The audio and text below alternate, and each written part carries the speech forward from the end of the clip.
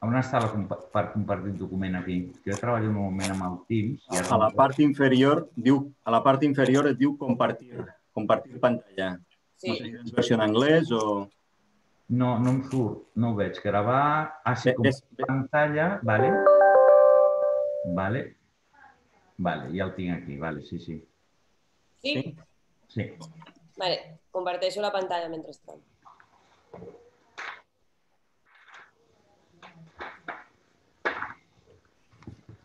Molt bé. En dos minuts comencem.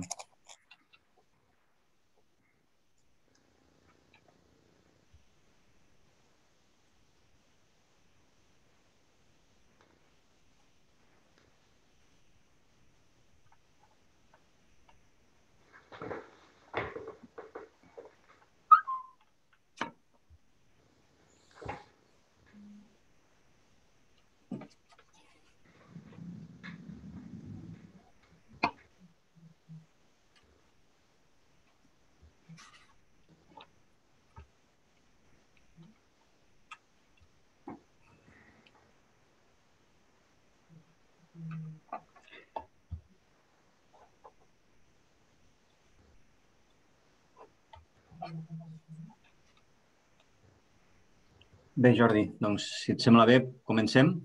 Mm -hmm. Molt bé. Molt bé, bon dia a tots i totes.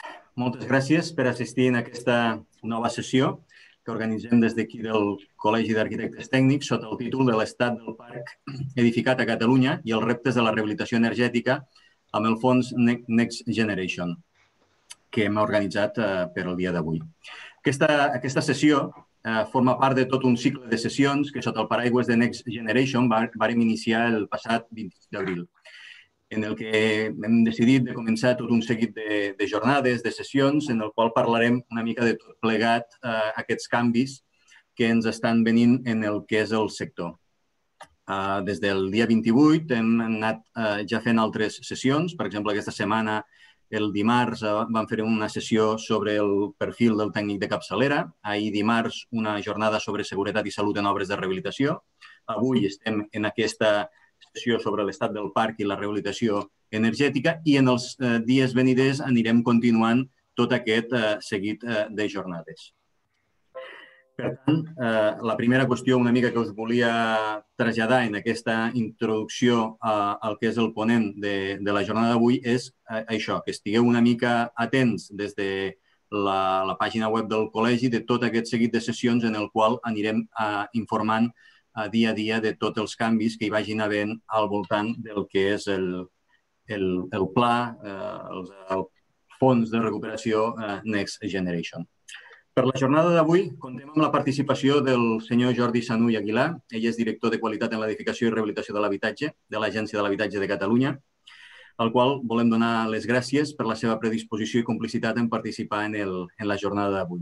Ell és, de ben segur, la persona a Catalunya més ben informada sobre tots els aspectes dels fons europeus a la rehabilitació energètica i, per tant, és eh, per nosaltres doncs, això una satisfacció poder comptar amb ell i escoltar tot el que ens pugui dir.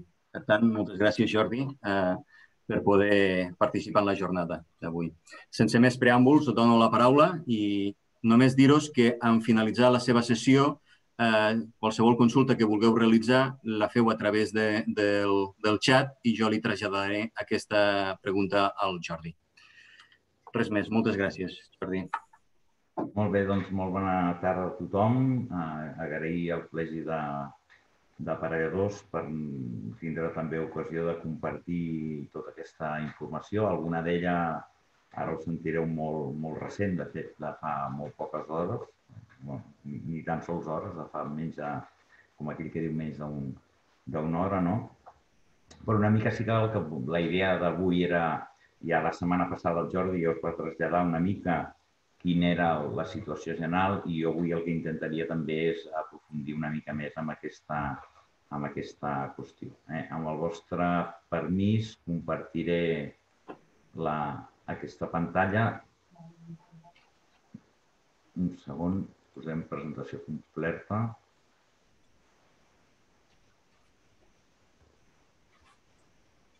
Suposo que es veu bé? Sí, Eh, si la, la pots compartir a pantalla sencera? És el que intentava, però no sé què ha passat aquí. Que ara això se m'ha anat a... Perdó. És el que intentava posar pantalla sencera, però em transforma... Sí, sí, ara es veu, ara es veu bé, eh? Ara es veu bé, val, molt bé. Doncs molt bé, aquí una mica el que intentaré és, bueno, primer parlar en una primera part i dividir la presentació una mica en dues parts. Una primera part de la realitat de la rehabilitació dels edificis eh? I, i una segona part que parlaríem ja més en detall del fons eh, Next Generation val? i una mica la proposta que, em, que vam enviar tot just el 23 d'abril a Madrid i que avui aquest matí hem tingut una reunió amb el, amb el Ministeri per, eh, per parlar-ne. Eh? S'ha escrit molt, ha sortit moltes notícies als mitjans de comunicació, però bé, el que ens cal és, diguéssim, anar posant fil a l'agulla. Eh? Primer de tot, mm, posar en situació quin és el, la, la, la, el nostre parc. No? Tenim, en principi, això són dades del l'IDESCAT, que són públiques i consultables per qualsevol, eh, bueno, tenim mil, més d'un milió de- d'edificis a Catalunya, concretament 1.170.000, dels quals eh, un 75% eh, són eh, dels edificis, representen, mm, els plurifamiliars representen un 75% dels habitatges de Catalunya l'altre 25% són les unifamiliars. Eh? En total, amb habitatges, estem a la ratlla dels 4, dels 4 milions de- d'habitatges, eh? dels quals més de 3 milions, eh? aquests 3 milions 177.000, són en edificis plurifamiliars. Eh? Això per situar-nos una mica. Bé, el, bueno, quines són les polítiques de futur en, en, en la rehabilitació? Eh? I ara, i l'oportunitat que ens brinden el, el, el, els fons, eh, doncs evidentment serà una mica l'eix d'aquesta intervenció avui, no? Però hem de pensar quina és la vida útil d'un edifici. Eh? Si és 100 anys, eh? si és uns 50 anys, no? Això ens porta, per tindre un ordre de magnitud, eh? que mm, hauríem d'estar rehabilitant amb una forquilla de 40 a 80.000 habitatges any a nivell, a nivell de, tot, de tot Catalunya eh? per moure'ns, diguéssim, amb aquest 1-2% de- d'habitatges. Realment hauria de ser el, alguns índexs a Europa, doncs, països com Alemanya crec que estan situats al voltant del 2% anual. Eh? Nosaltres estem a, a, molt, molt per sota i si parlem d'eficiència energètica, doncs estem, com aquell que diu, ten- tendint al zero. Eh? I aquest és el gran repte que tenim per davant i a la vegada la gran oportunitat que se'ns genera aquí a través dels, dels fons. Eh? Bé, parlar una mica d'inspeccions tècniques dels edificis. Aquí tenim unes, unes dades que suposo que alguns de vosaltres ja coneixeu. Eh? Tot, bueno, són les inspeccions tècniques dels edificis que s'han fet durant aquests anys. Les columnes en blau representen les del el decret del 2010, les columnes en verd eh, eh, del nou decret, del decret del 2015 d'inspecció tècnica dels, dels edificis. Eh. Eh, com veieu aquí estem parlant que amb el nou decret han fet eh, al voltant d'uns 65.000 edificis en aquests eh, 5 anys. Contem 5 anys perquè, de fet, el decret és del 2015, però hi havia un període transitori que era de 6 mesos i acabava pràcticament, em sembla, si no recordo malament, el 27 de novembre del 2015. Per tant, eh, com any sencer, el primer any és el, el 2016, eh? i com us deia, han fet unes 60, si no recordo malament, unes 64.000 ITES amb aquests d'allò, per tant estem parlant de més de 600.000 habitatges. Eh? Per tant, estem parlant d'una part ja molt significativa d'aquests 4 milions d'habitatges, en els quals, de fet, com a primera residència són aproximadament uns 3 milions d'habitatges. Eh? Per tant, estem parlant ja d'una quantitat mm, molt apreciable del, del parc en sotmès amb inspecció. I quin resultat ens ha donat? Doncs bé, aquí, aquí el tenim, no? que mm, bé, mm, 12, gairebé un 13% dels edificis no tenen deficiències, tenim un 40% dels edificis que tenen deficiències que s'han considerat només com a lleus, i ja tenim un 32% dels edificis, que és el tros de formatget en color groc, que presenten una o més d'una deficiències de caràcter important, eh?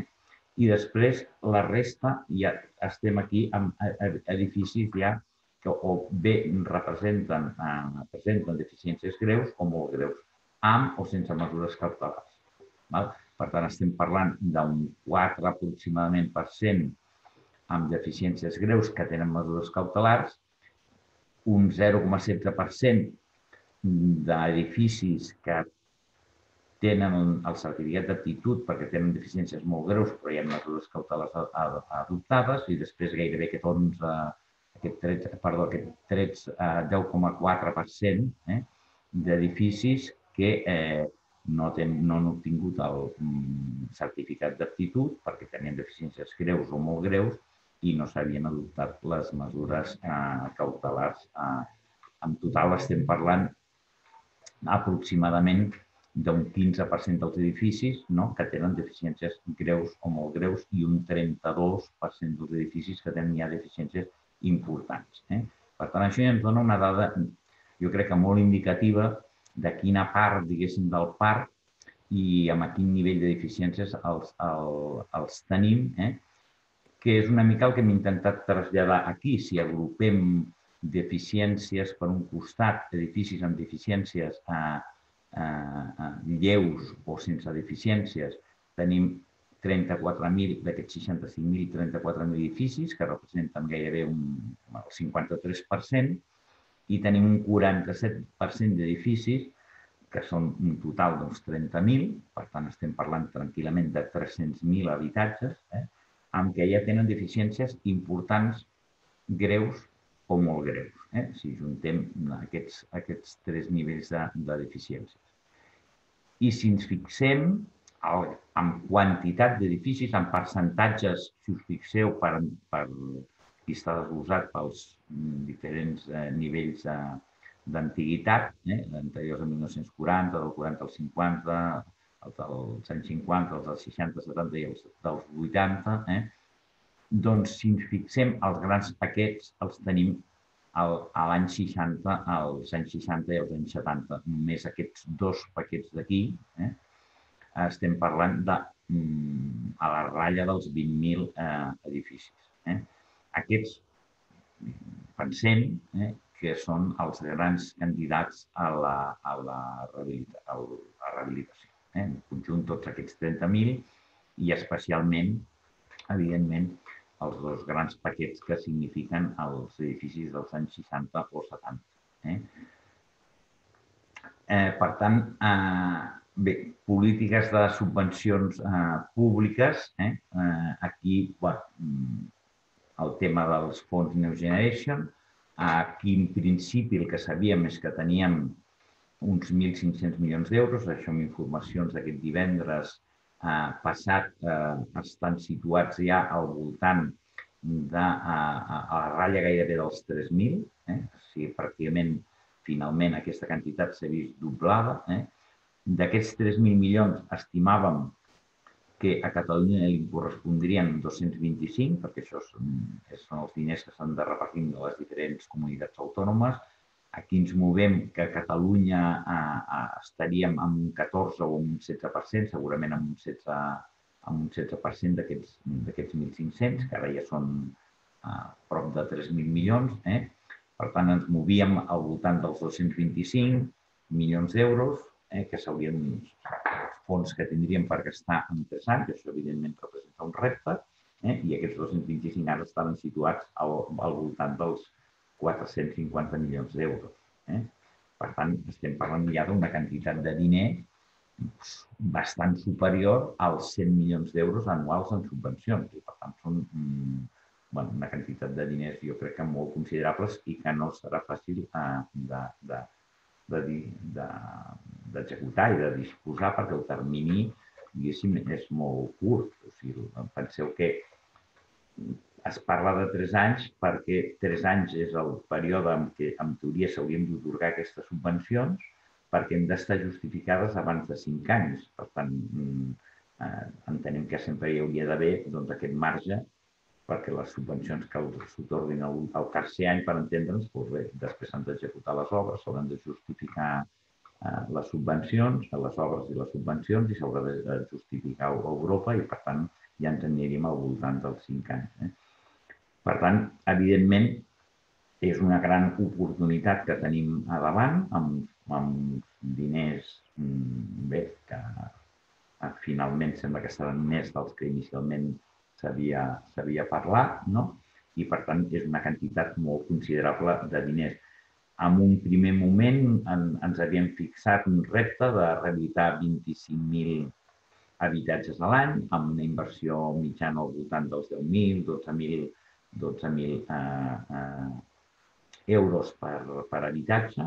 Eh? Això ja veurem si realment aquestes mitjanes es poden mantenir o han de ser segurament eh, superiors i per tant això, mm, com suposo que ho comprendreu, no és un repte no és un repte fàcil i més en els moments que corren, perquè encara que hi hagi percentatges de subvencions altes, doncs bé, mm, doncs les subvencions es cobren al final, per tant s'hauran de tenir els mecanismes de, de finançament i les comunitats i, per tant, les famílies hauran, els propietaris hauran d'assumir doncs, una part de la despesa que no vindrà, diguéssim, finalment subvencionada sobre una quantitat important de diners. I això, evidentment, no és gens, gens fàcil. Eh?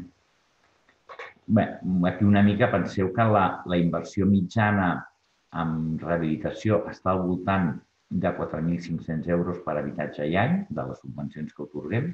Aquí, si traguéssim eh, tot el tema d'accessibilitat, aquesta mitjana baixaria, segurament baixaria molt, en temes de conservació estem bastant per sota. Eh? En matèria de sostenibilitat, doncs les mitjanes són força més altes, però també s'ha de dir que la quantitat d'habitatges és molt petita. Eh? Per tant, mm, estem davant d'un repte eh, molt important. Eh?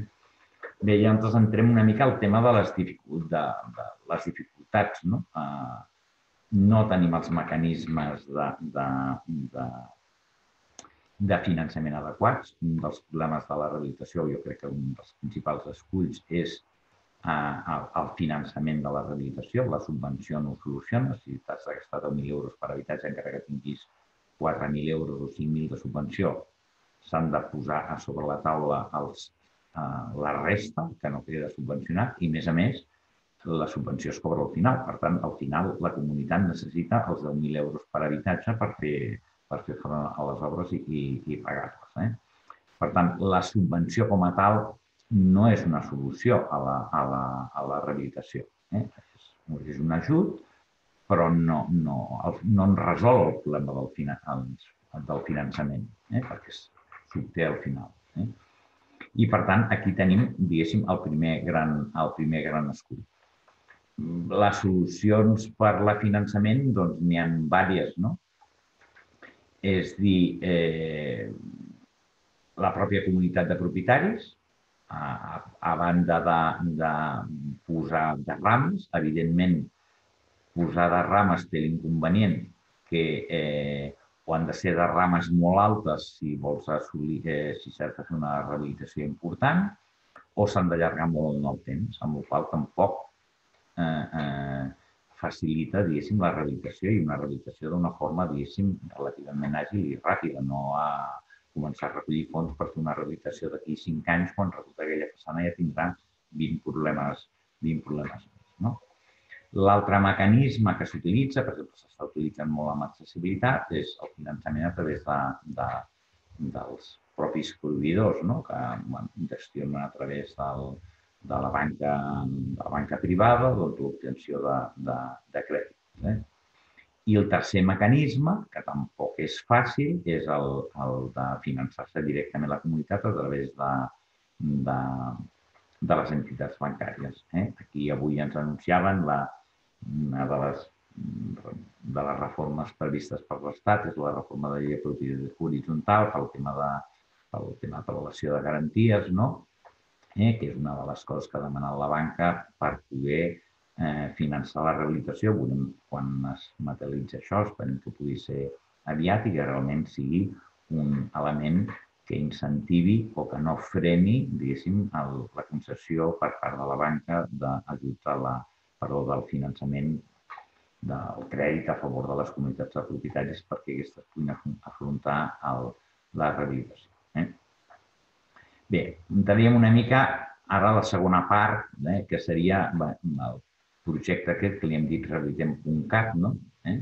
Eh, que hem estat treballant conjuntament doncs, amb tots els agents del sector, una mica pivotant tota la iniciativa a través del, de l'ITEC, eh? doncs, i aquí hem, hi hem col·laborat doncs, els col·legis, treballadors, arquitectes, els administradors de finques, constructors, eh, economistes, enginyers, etc. Eh, tots, tota una sèrie de gent que hem intentat fixar a, a, a, bé, bueno, el que nosaltres entendríem que seria una proposta raonable d'utilització dels fons, eh, que ja veurem fins al final quin recorregut, eh, quin recorregut té, perquè això al final en principi ho regula, ho regula l'Estat i també, evidentment, hi ha unes condicions que imposa el patró pels fons a la, a la Unió Europea eh? i, per tant, no és un tema, no és un tema fàcil. Eh? Bé, per la proposta hem utilitzat una sèrie de paràmetres purament objectius, com són el repartiment eh, del, del parc en funció de la, de la zona climàtica. Evidentment, les zones climàtiques de Catalunya són la B, eh, perdó, la C, la B, la C, la D i la E, amb un pes jo diria que específic gairebé abrumador de la zona, de la zona climàtica C, eh, que és on tenim concentrat, eh, que és tota, pràcticament tota la zona costanera eh, catalana, que és on tenim concentrat la immensa majoria del, dels habitatges. Eh. Evidentment, també s'han tingut en compte els ràtios de, com dèiem abans, de polifamiliars i familiars en base del cens del 2011. Eh. I després, Mm, bé, el que, mm, la, la, la idea de, de la subvenció segueix eh, eh, un principi molt clar, no? és dir, amb més eficiència energètica, més subvenció. Mm, eh? I, per tant, vam partir que en funció de les, de les quatre zones climàtiques doncs, establir uns nivells mínims de reducció de, del consum eh? i amb, una, amb, amb una, un creixement, evidentment, de la reducció del consum i a la vegada amb un creixement també de la subvenció en funció de, de, de que vagi creixent la reducció de, de consum. Eh? Què hem fet? Doncs amb aquests quatre nivells, un nivell mínim de, que em com mínim d'intervenció de reducció de consum, eh, intervenció de, energètica amb una reducció mínima de consum, un nivell intermedi, un superior i un màxim, hem establert doncs, bé, uns percentatges, és a dir, de cada eh, 100 habitatges o de cada, ah, perdó, de cada 1.000 edificis o de cada 1.000 habitatges que es rehabilitin, doncs que un 30% arribessin a aquest nivell mínim, un 40% el situaríem en aquest nivell intermedi, un 20% en nivell superior i a nivell màxim un, un 10%. Enteníem que això era una proposta, diguéssim, eh, no segurament la més desitjable, però sí una proposta, diguéssim, amb un criteri de, de prudència eh, que, que, per tant, podríem entendre que aquests objectius, aquests percentatges, doncs els podríem, els podria, els podríem assolir. Eh? Les dades costos de rehabilitació, doncs, evidentment, hem tingut en compte totes les dades, per exemple, d'aquests últims tres anys de les subvencions que s'han donat, els costos mitjans de les intervencions, evidentment les bases de, de preus de, de, diguéssim, del, del, de l'ITEC, eh? per fer al final doncs, un, un escenari, una simulació de, de, de diguéssim, de, de, de subvencions, de costos i de, i de subvencions. Al final, el que um, ara veureu aquí és que uh, bueno, um, vam elaborar aquesta proposta eh, de consens eh, que, com veieu, establíem per cada un dels quatre nivells, eh, aquest nivell mínim fins a un nivell màxim, un nivell de reducció de consum. Eh? La, sembla ser que tot anirà referit, en principi, a la reducció de consum d'energia primària, eh?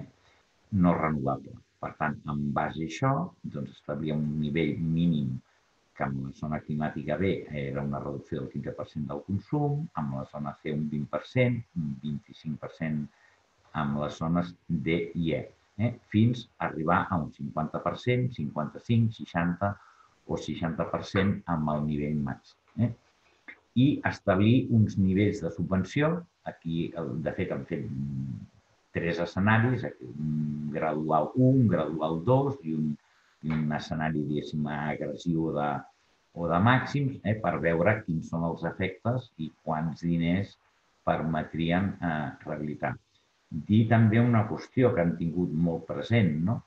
És dir, és cert que els fons ens brinden una oportunitat també molt important, però també creiem que, eh, i aquí és una mica un dels temes clau, no? també creiem que faríem un, un mal favor si partíssim un, un supòsit de subvencions molt altes que el dia que se'ns acabin aquests fons, allò que, que diem, no? és, eh, eh, engegar, com ho diuen, engegada de burro i parlar de cavall, o al revés, no engegada de cavall i parlar de burro, no?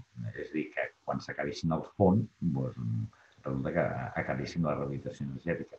Per tant, el plantejament que també hem tingut molt present és que aquests fons havien de servir com a oportunitat, evidentment, perquè es fes rehabilitació energètica, per instaurar la cultura energètica, però a la vegada també perquè això d'alguna manera es creés una inèrcia que després tingués continuïtat.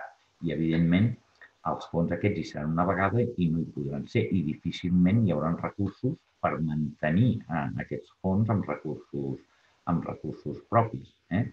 I, per tant, el dia de que desapareguessin aquests fons també hauríem de tenir present doncs bé, que encara que fossin en quantitats eh, inferiors, doncs aquest, aquesta inèrcia d'alguna manera pogués continuar. Eh?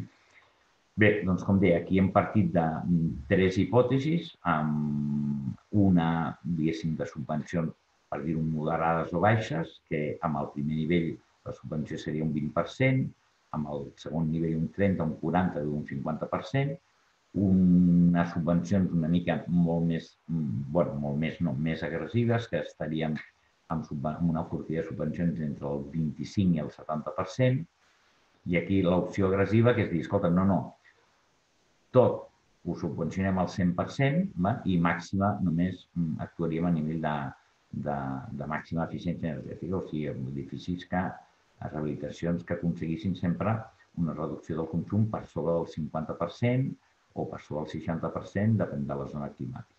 Eh?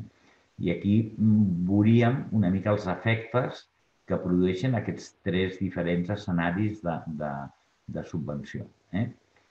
Amb cost per habitatge, al total estem mm, al voltant de costos mitjos en funció d'aquests quatre nivells de 13.000 o 13.000 euros, evidentment aquí la subvenció és la mateixa, amb aquest d'aquí, com que només estem actuant amb aquest únic nivell, la subvenció mitjana estaria al voltant de, perdó, el cost mitjà estaria al voltant dels 20.000 euros per habitatge, eh?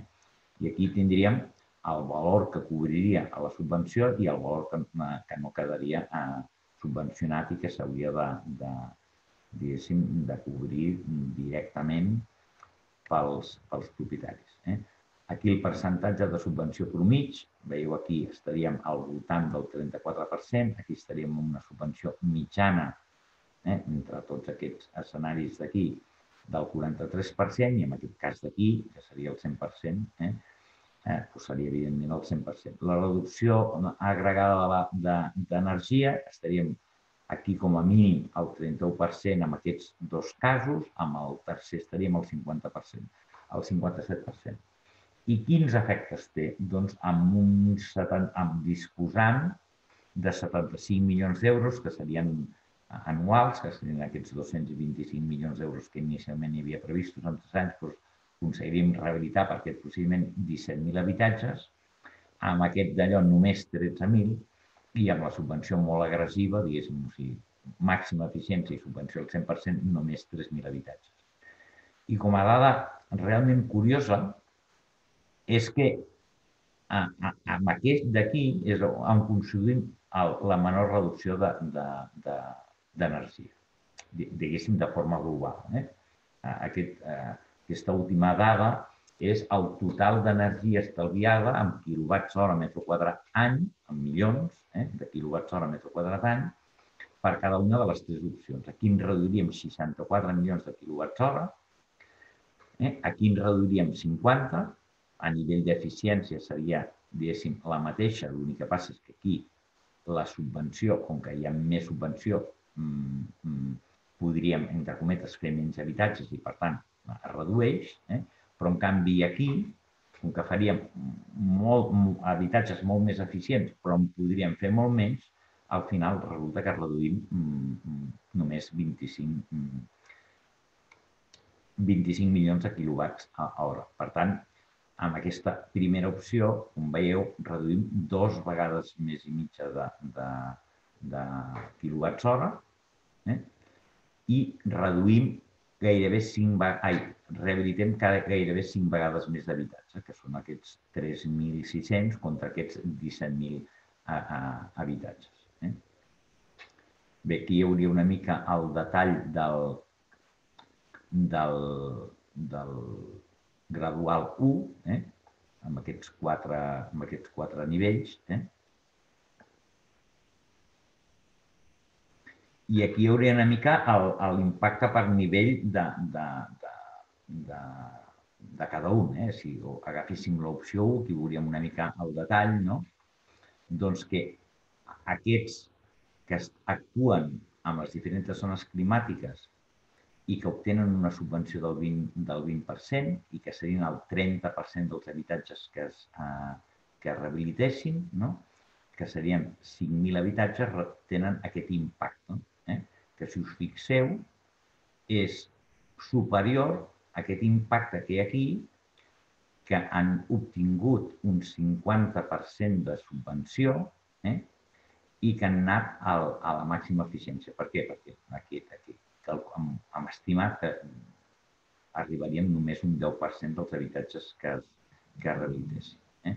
Si us fixeu, el fet de eh, fer aquesta, aquest gradual amb aquests dos primers paquets d'aquí estem obtenint 36, eh, 36 contra eh, 28. O sigui, tenen més impacte en reducció de quilowatts hora al metre quadrat any aquests d'aquí, perquè hi ha molta quantitat d'habitatges, encara que a nivell de, al nivell d'intervenció d'eficiència energètica estem amb, amb reduccions moderades del, del consum, perquè aniríem amb una forquilla del, 20, del 15% al 30%, al 30% eh?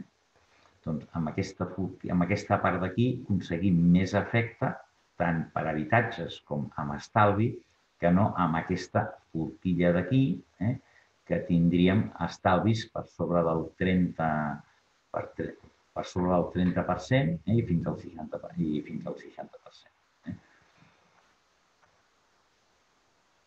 Per tant, a veure, la proposta aquesta de model gradual, eh, que és la que hem, hem, hem, hem posat a sobre la taula del Ministeri a finals d'aquest mes passat, eh, doncs era mm, la idea de rehabilitar molts més habitatges, eh, generar mm, els efectes eh, que considerem com a positius és que generàvem globalment més estalvi energètic, es genera més impacte econòmic, eh? perquè hi ha, mm, bé, diguéssim, per com menys subvenció dones, eh, eh, com que s'estan arreglant més, en teoria, més, més edificis, més habitatges, l'impacte econòmic no és el valor de la subvenció, és el valor de l'obra, és el valor de l'obra que fem. Eh? Per tant, hi ha més moviment econòmic i, per tant, hi ha més, més molt més impacte econòmic. I també un quart efecte, que és claríssim, hi ha més deslocalització de l'impacte. Sigui, no és el mateix reparar 3.000 habitatges, que els podrem reparar, doncs, bueno, afectaran doncs, uns determinats barris, que arreglar-ne 17.000 que tindran un efecte molt més estès en el, en el territori. Eh? Per tenir un major uh, uh, impacte en aquest sentit. Eh? I després uns efectes col·laterals eh, que és que es constru, eh, contribueix més al canvi eh, cultural eh, de, de, de, cap a una rehabilitació amb criteris ambientals en el sentit de que farem més taca d'oli, eh, eh, estenent, eh, fent molts habitatges, encara que sigui amb rehabilitació, diguéssim, moderada, i això portarà a fer més rehabilitació que no focalitzant-nos Eh, per exemple, com el, el model més agressiu i fent 3.000 habitatges que ens poden afectar doncs, uns quants o molt pocs barris, eh, amb subvencions del 100% i molta eficiència. Això tindrà molt menys impacte, contribuirà molt menys a un canvi cultural que no fer aquesta de, a, a, aquest altre efecte. No? I per últim, i tema que consideràvem també molt important, és que es farà molt més traumàtica la transició un cop esgotat aquests fons. És a dir, anar amb subvencions altes, doncs el fet de que després no tinguem els fons, els fons europeus, doncs, com que els recursos, evidentment, no podran ser els mateixos, l'impacte, diguéssim, eh, es, notarà, es notarà molt menys que si anem amb subvencions molt altes, que serà relativament, segurament, més fàcil fer eh, eh, que es rehabiliti, però el dia que desapareguin aquestes subvencions tan altes, doncs segurament eh, correm el risc que no es faci, que no es faci res. Aquesta és una mica la idea de la síntesi. Dius que bé, amb les converses d'aquest matí amb el Ministeri, doncs bé, notícies de la setmana passada era que aquests 1.500 sembla ser que seran 2.800 milions, bueno, si s'acaba concretant tot això, a més a més, cal dir-ho que aquests fons ara s'hauran de la proposta que va enviar el Ministeri a finals d'aquest mes d'abril haurà de ser aprovada per, per, la, per les instàncies europees i ja veurem com s'acaba materialitzant. Eh? Però bé, eh, la idea eh, que nosaltres hem traslladat, hi ha una part que està, la idea de la gradualitat sí que està ben, a, ben acollida, però sembla ser que serà eh, difícil doncs, que encaixi aquesta part d'aquí, eh? que, que puguem situar que les reduccions de consum puguin estar per sota del 30%. Eh? Això té, bé, té, com hem vist aquí, té un risc, no? que és que precisament amb aquesta hipòtesi que han fet, que amb aquest primer nivell d'aquí segurament hi podrien entrar, se'ns hi podrien acollir molts edificis o molts habitatges i sobretot amb aquest segon nivell d'aquí, eh? aquí teníem el 70% dels, edificis, dels edificis podrien estar al voltant d'aquests dos primers nivells, això vol dir que segurament si es manté el límit del 30%, el tindríem situat amb aquest d'allò, el tindríem situat aquí. Val? Això vol dir que d'aquests 17.000 habitatges que ens surten aquí en conjunt, pues, eh, 10.000 podrien quedar fora, que serien tots els que estarien en aquest primer nivell i en aquest d'aquí. Això, evidentment, té un risc molt fort, perquè aquests o fan el salt a un, a un nivell d'inversió més alta, o si se n'hauran d'anar, haurem d'estar, a les inversions mitjanes segurament hauran d'estar situades aquí, o si no ens quedaran, ens quedaran, ens quedaran fora. Eh? Per tant, aquí aquest és un dels grans dilemes de tot aquest mm, plantejament, és on situar els nivells de reducció de, de consum mínims, eh? eh, com més alts es posin des d'un punt de vista d'eficiència energètica millor, però a la vegada també el llistó salta és més alt i, per tant, el nivell de rehabilitació és més exigent i, per tant, no sempre serà possible arribar a aquest nivell. D'aquí a que, bé, la proposta aquesta doncs, partís d'uns nivells, perquè bé, a vegades tècnicament eh, doncs serà difícil arribar-hi i també perquè encara que ens plantegem una rehabilitació integral en un edifici per aconseguir, no, no sé, nivells de reducció de consum doncs del 50 o del 60%, allò, allò s'ha de plantejar fer-ho en dues fases eh, o tres fases. I, i, i clar, cada una d'aquestes fases haurà d'arribar al nivell mínim, amb aquest nivell mínim que fixem de reducció de consum. Per tant, és també una mica contrari eh, al situar un nivell de consum relativament alt, és contrari, diguéssim, a la política d'execució de, de fases de la rehabilitació. Eh? Bé, aquest és el tema que caldrà negociar, discutir i intentar, intentar consensuar doncs, amb el Ministeri, però perquè és una mica la clau, la clau de volta de, de tot. Eh? Posar nivells alts segurament és desitjable, però a la vegada pot ser també una trampa i pot, pot arribar sent eh, contraproduent. Eh? Perquè acabem fent, mm, sí, habitatges molt eficients, però resulta que acabem fent molts pocs habitatges, eh? o molts menys habitatges dels que ens permetrien fer els fons, que és el joc d'equilibris que haurem d'anar veient com es desenvolupa en els propers mesos. En qualsevol cas, el que jo crec que avui ha de quedar claríssim, i aquest és el missatge que heu de tenir, és que els fons aquests aniran absolutament lligats a eficiència energètica. O hi ha reducció de consum, veurem en quin nivell finalment es situa, si situa el 30, si finalment eh, aconseguim que es pugui acceptar en nivells inferiors, eh, de, entre el 15 i el 25 o el 20%, eh, i diguéssim en zona climàtica que és la majoritària, estava, el tenim situat amb el 20%, eh, doncs veurem això finalment com, com acaba. Eh? Però, evidentment, l'element clau per la rehabilitació energètica eh, serà la reducció de consum d'energia primària i l'element clau per tindre subvenció serà, evidentment, la rehabilitació energètica. Aquest és una mica el missatge que us volíem traslladar avui i bé, en les properes setmanes i mesos anirem tenim notícies, suposo que des del col·legi anireu convocant jornades i, evidentment, estarem encantats de, de poder-les anar explicant eh, cada vegada que, cada vegada que. Per la meva part, això seria tot. En tot cas, eh, obert ara a totes les preguntes que hi puguin, que hi puguin haver. Moltes gràcies, Jordi. Doncs, eh, si et sembla bé, et vaig traslladant algunes de les preguntes que han anat eh, eh, apareixent en el xat. Mm -hmm. La primera de les, de les preguntes que ens fan és tu quan es, estàs presentant aquí els costos eh, per habitatge, per les diferents eh, possibilitats que hi han de subvenció, estableixes uns costos eh, de construcció.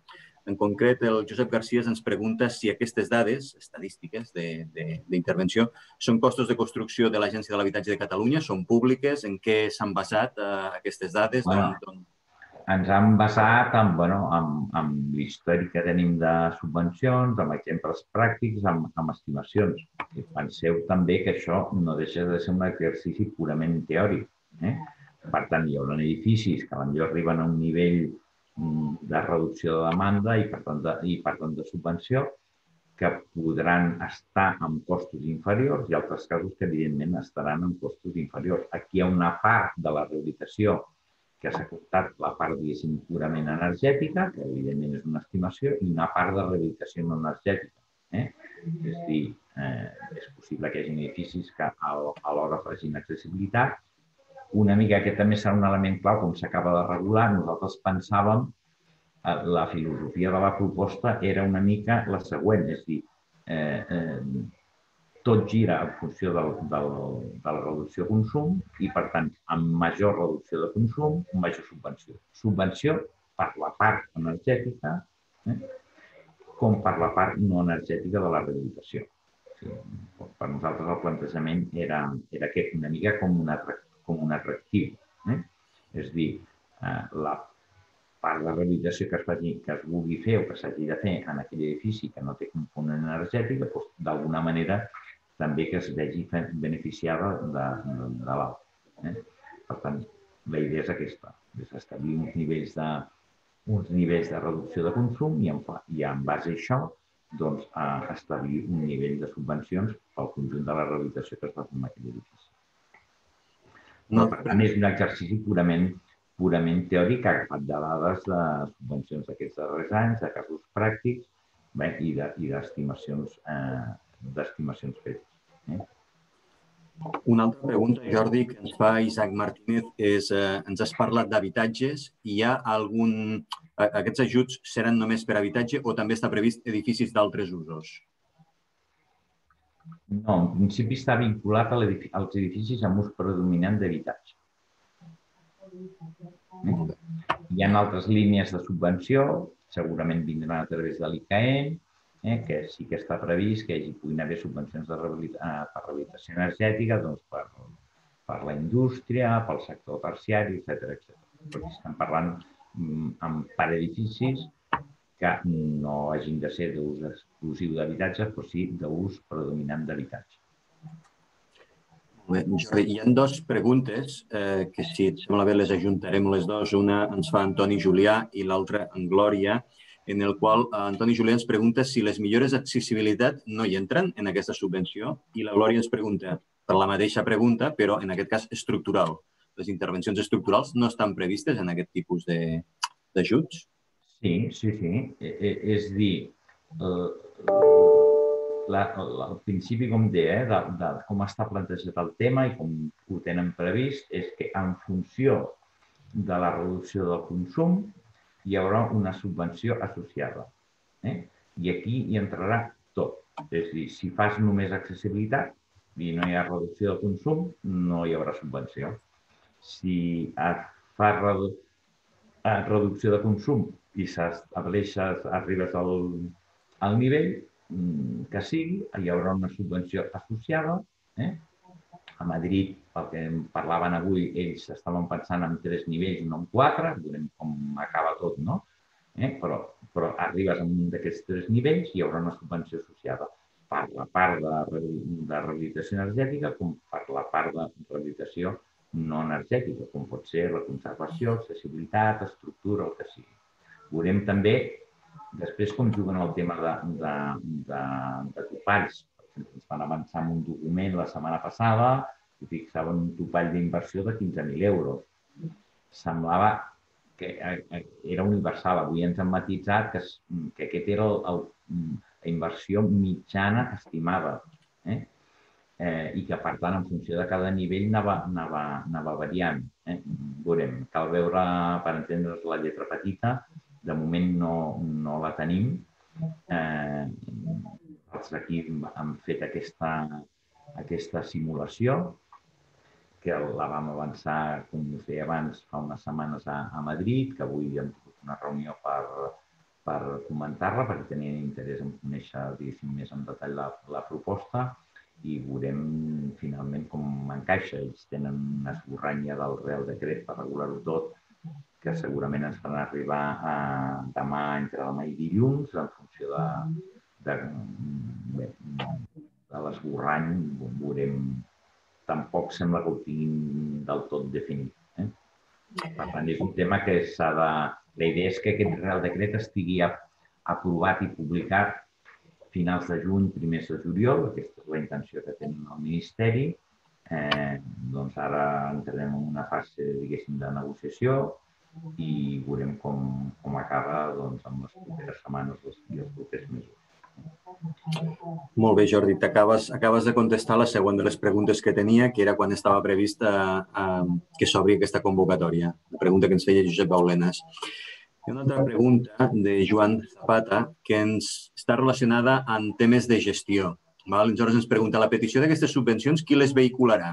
El particular, les administracions, ajuntaments, consells comarcals, diputacions? O sigui, una mica com està previst tot el tema de xarxes, eh, oficines, habitatge, etc. Eh?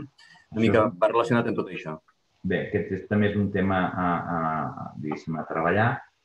En principi, eh, el Ministeri, pel que ens deien avui, també tenen, volen obrir la possibilitat que la subvenció la pugui demanar, per exemple, la pròpia empresa constructora, o sigui que el beneficiari, el sol·licitant i el beneficiari de la subvenció pugui ser la pròpia empresa constructora. Hi ha que veure si després, si les empreses constructores jugaran amb això, evidentment pot ser la comunitat de propietaris.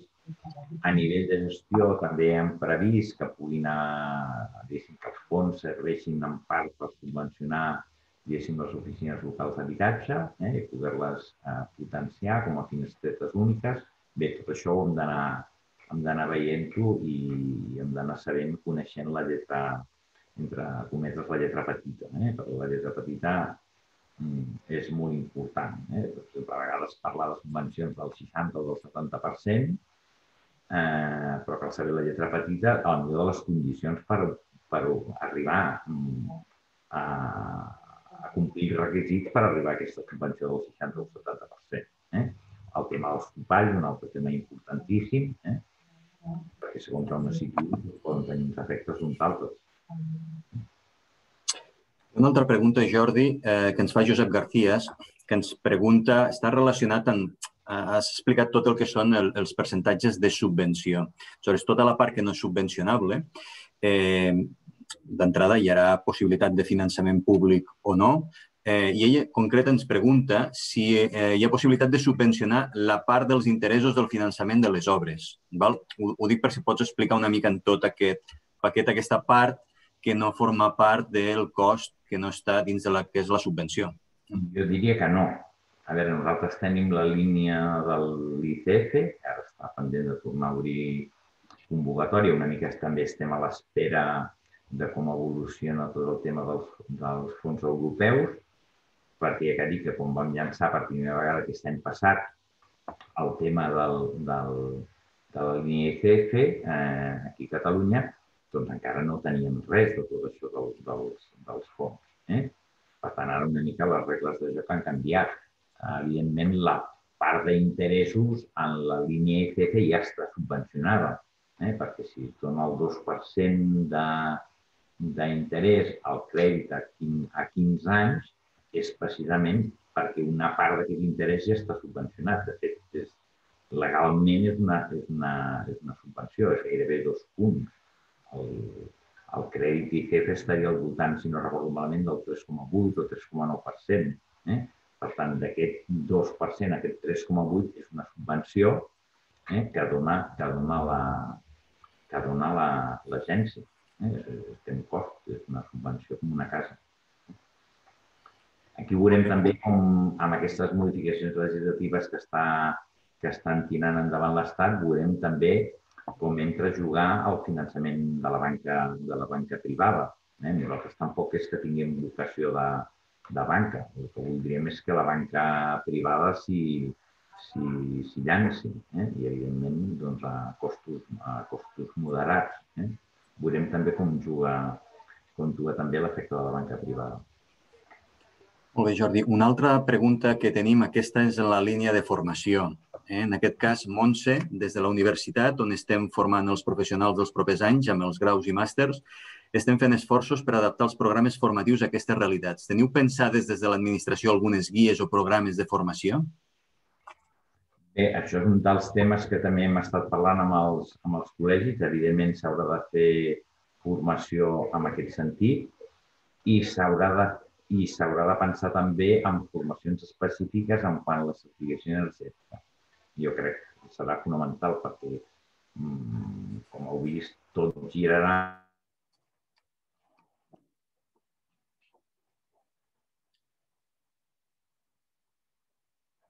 Jordi? No sé si sóc jo, però uh, et veig amb la imatge congelada. No, no, se'ns ha congelat. Se'ns ha congelat i no l'escoltem. Ara, Jordi, s'havia quedat congelat. Si pots... Ah, perdó. L'última part no t'hem escoltat. Perdó, eh? Deia que, eh, que evidentment la certificació energètica serà un element clau, eh? perquè tota la subvenció a, a, al voltant del, de la reducció de consum d'energia primària no renovable.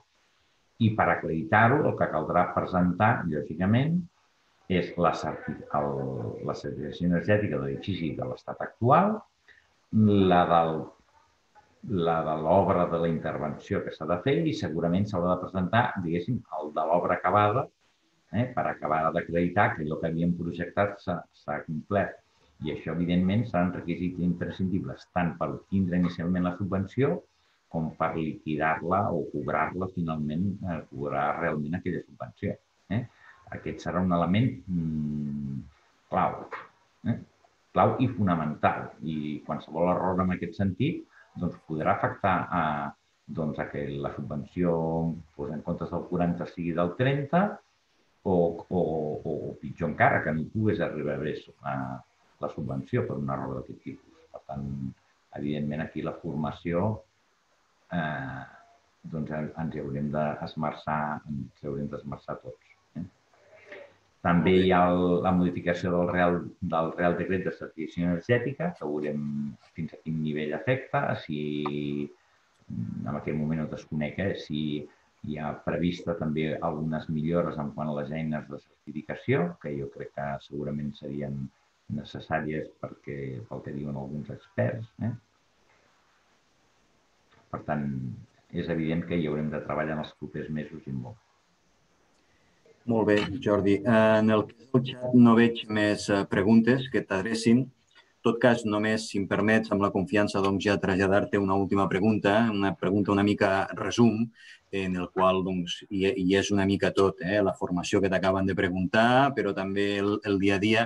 És eh, una mica com ho veus tu des d'aquesta posició una mica privilegiada que ens pots aconsellar què és el sector, què és el que hem de fer mm, a l'espera d'aquesta mm, convocatòria que ens apareixerà aquest any i les que puguem tenir 2022-2023, que ens aconselles eh, al sector professional una mica doncs, eh, per eh, poder fer front en aquest, eh, en aquest repte que tenim al davant i poder aprofitar aquests eh, fons econòmics. Una mica unes pinzellades, si ens els pots eh, adreçar, doncs...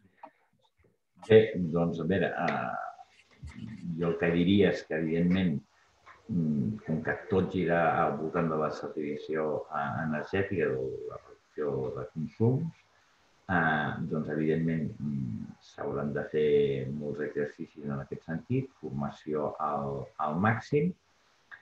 Crec que també eh, caldrà eh, molta pedagogia, diguéssim, no tècnica, per entendre'ns. És dir, el tècnic no només haurà de fer de tècnic, sinó que també jo crec que haurà d'adoptar un paper, si m'ho permeteu, de venedor o de comercial, eh? per intentar convèncer a les comunitats de propietaris doncs, de la necessitat o de l'oportunitat de la rehabilitació energètica. Eh? Jo crec que això també és, és clau. Aquí jo considero que és clau tant el paper del tècnic com també el paper, per exemple, de l'emissor de finques. Jo crec que són dues figures que són absolutament claus en aquest, en aquest sentit. Eh? Absolutament claus. I l'altre tema que jo considero que és fonamental serà el tema del finançament. El finançament és absolutament necessari perquè, evidentment, i més si finalment s'hi situa el llistó amb el 30% de la reducció del consum d'energia primària, això vol dir que els nivells d'intervenció eh, doncs, amb molta facilitat, per no dir quasi bé sempre, eh, passaran dels, de les 5 eh, dels quatre dígits, o si ens en diem els cinc dígits, estarem sempre fàcilment per sobre els 10.000 euros per habitatge i, per tant, fer rehabilitació de més de 10.000 euros per a 10.000 euros per habitatge sense instruments de finançament. Les línies que tenim nosaltres de l'ICF o la banca privada difícilment eh, es podrà fer difícilment es podrà fer. Eh? Per tant, aquest és un altre element, un altre element clau. Eh? Importantíssim perquè tiri endavant, perquè tiri endavant això. I, evidentment, aquí la banca privada té molt... Eh, té, el paper de la banca privada pot ser també clau. Eh? Ara hi ha molta dificultat per accedir al crèdit, eh, temes de garanties, avals, etc etc Tema també de terminis, eh, d'amortització. Eh, a vegades posen terminis doncs, que són relativament curts. Eh? En el mateix, a la millor finançar l'obra a 5 anys en vista que finançar-la a 10 anys o 15 anys. Eh? I hi ha el tema, evidentment, del, del, de l'interès, que jo crec que també pesa. Hi ha un tema també clau, i això en una enquesta que vam fer a través dels administradors de finques, eh, s'ha pogut comprovar, diguéssim, el fet de demanar crèdit per fer rehabilitació mm, és una cosa, diguéssim, que costa, que costarà. Costa d'entendre, costa de, de que el ciutadà ho compri. I aquest és un element que és clau i fonamental. Molt bé, doncs moltes gràcies, Jordi. Moltes gràcies per la teva participació i la teva complicitat. Sempre estàs predisposat doncs, a venir-nos a explicar um, doncs, eh, la situació com està i en aquest moment era important doncs, que poguéssim tenir doncs, la, teva, la teva participació i poder-nos traslladar doncs, la informació de darrera hora. També moltes gràcies a tots els assistents i res, eh, dir-vos que estigueu atents al que són les comunicacions que anem penjant en el que és a la pàgina web del col·legi, informant-vos de les eh, següents sessions en les quals anirem detallant doncs, com vagi eh, avançant tot el que és aquest eh, procés del Next Generation. Moltes gràcies a tots. Gràcies a vosaltres.